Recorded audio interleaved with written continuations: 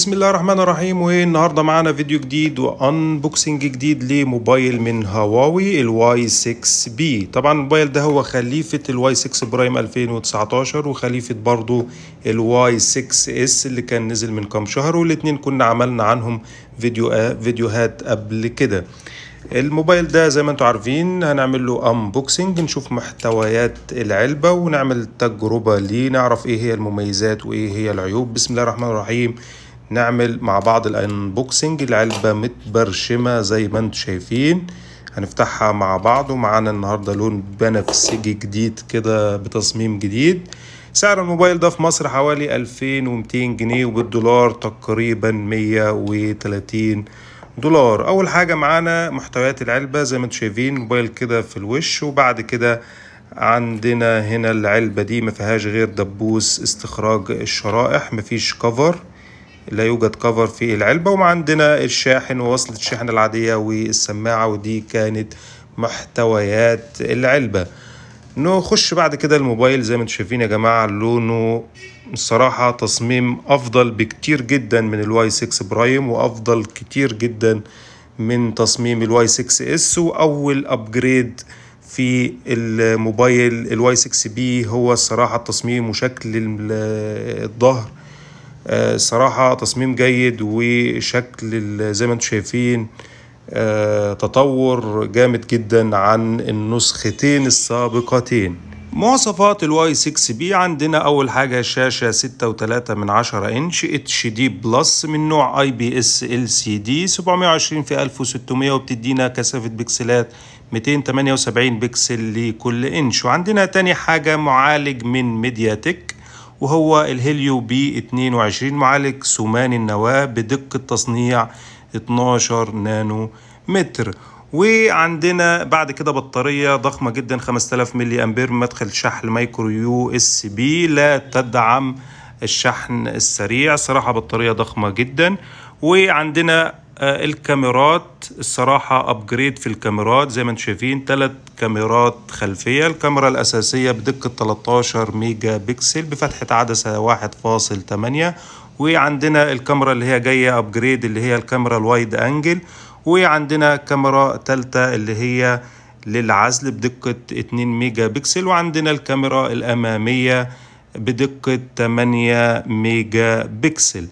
الذاكرة بتاعة الهاتف هنا الذاكرة الداخلية 64 جيجا بايت مع رامات 3 وهي نفس الذاكرة والرامات اللي موجودة في النسخة ال S الصراحة مواصفات جيدة وزي ما قلنا الموبايل ده بينافس في فئة سعرية اقتصادية تمن الموبايل 2200 جنيه وحوالي 130 دولار. ولو حابين تعرفوا إيه هو ال upgrade اللي حصل في النسخة دي عن النسختين السابقتين أول حاجة عندنا هو التصميم وشكل الظهر بتاع الموبايل على الرغم إن هو آه من البلاستيك لكن التصميم اتطور وبقى فيه شوية انعكاسات كده شكلها حلو وجميل. تاني حاجة الشاشة كبرت سيكة بسيطة بدل ستة واحد من عشرة إنش بقت ستة وتلاتة من عشرة إنش. وده يعتبر upgrade عن النسختين السابقتين.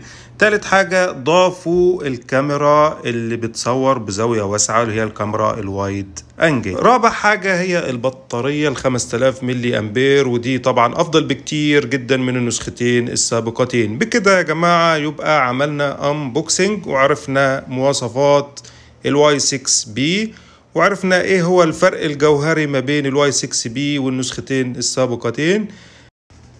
قبل ما نخش على المميزات والعيوب لازم طبعا كلكم تبقوا عارفين حاجة مهمة جدا إن الموبايل ده لا يدعم خدمات جوجل ودي الصراحة حاجة صعبة جدا وفي ناس كتير مش متقبلة الموضوع ده. يا ريت يلاقوا له حل في الأيام القادمة. هنعمل شوية اختبارات للموبايل وننزل شوية تطبيقات وألعاب ونرجع مع بعض نقول إيه هي المميزات وإيه هي العيوب في ال Y 6 P.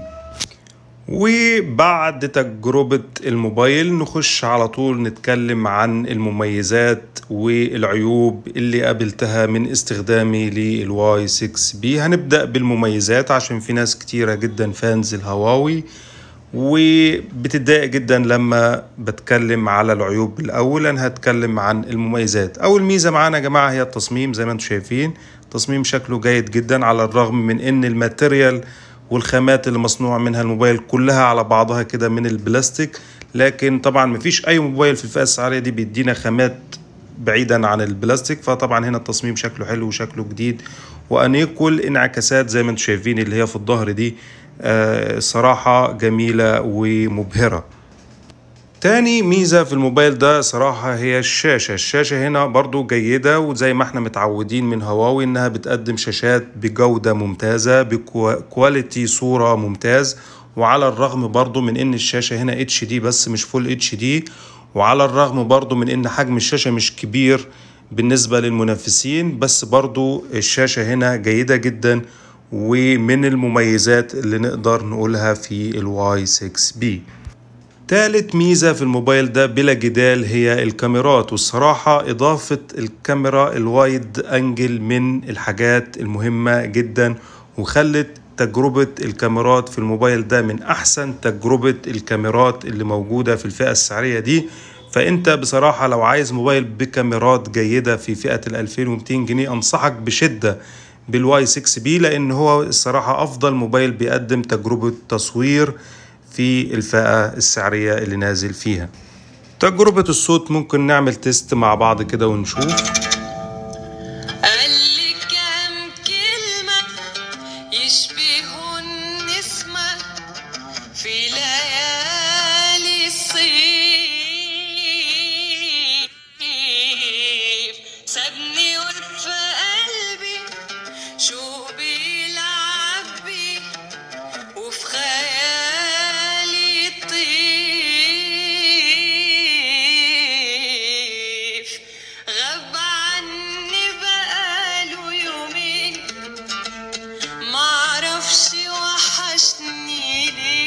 طبعا تجربة الصوت هنا جيدة هي مش أفضل حاجة لكن ما أعتقدش إن في حد من المنافسين بيقدم تجربة صوت أفضل من كده. هو الصوت مش استيريو السماعة اللي من تحت بس هي اللي بتشتغل لكن في المجمل الصوت حاجة كويسة.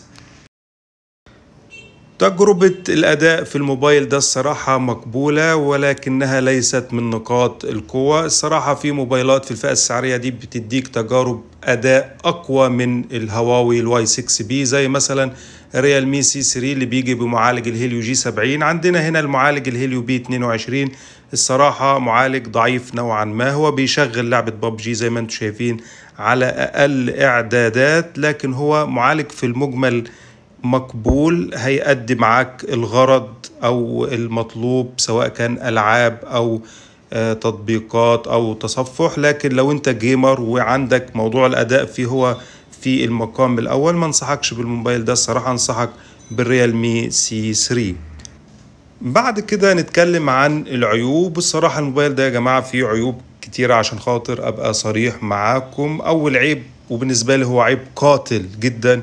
إن الموبايل ده لا يدعم خدمات جوجل ودي الصراحة حاجة صعبة. أتمنى إن الشركة تلاقي حل للموضوع ده.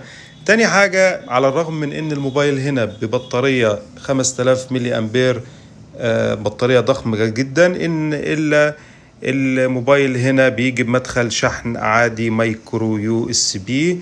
كنا نتمنى إن يكون مدخل الشحن Type C يدعم الشحن السريع زي ما في موبايلات كتيرة في الفئة السعرية دي فيها الميزة دي.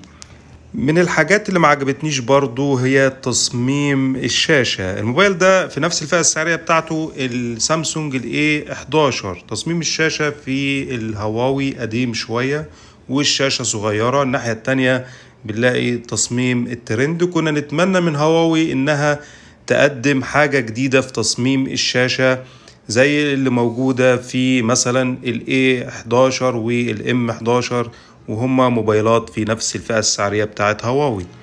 وفي النهاية علشان خاطر ما طولش على حضراتكم هنسأل السؤال المهم هل الموبايل ده يعتبر قيمة ممتازة مقابل المال أو يستحق الشراء؟ الصراحة إجابة السؤال ده تتوقف على حاجة مهمة جدا.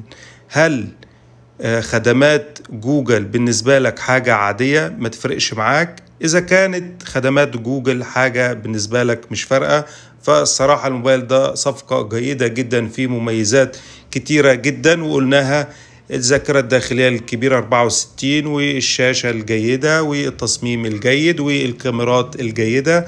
فالصراحة هيبقى بالنسبة لك آه، صفقة جيدة وموبايل جيد. لكن إذا كنت ما تقدرش زي مثلا زي أنا شخصيا ما أقدرش أتعامل مع موبايل لا يدعم خدمات جوجل فالصراحة أنت هتحس إن أنت غريب مع الموبايل ده هتحس إن أنت تايه جدا والموضوع الصراحة مش هيعجبك. ده كان فيديو يا جماعة آه، مختصر لل Y 6 P. ممكن تكون فاتتني حاجات وفي حاجات عدت مني. لو في حاجات عايزين تسألوا عنها إن شاء الله في الفئة السعرية دي في عندنا ال M 11 من سامسونج وال A 11 وعندنا ال C 3 اللي هو Realme C 3 كل الموبايلات دي في نفس الفئة السعرية إن شاء الله هحاول أعمل مقارنة ما بينهم. أتمنى يكون الفيديو نال اعجاب حضراتكم. لو عندكم استفسارات أو أسئلة اكتبوا لي. أتمنى يكون الفيديو نال اعجاب حضراتكم. بشكركم شكرا جزيلا في النهاية. والسلام عليكم ورحمة الله وبركاته.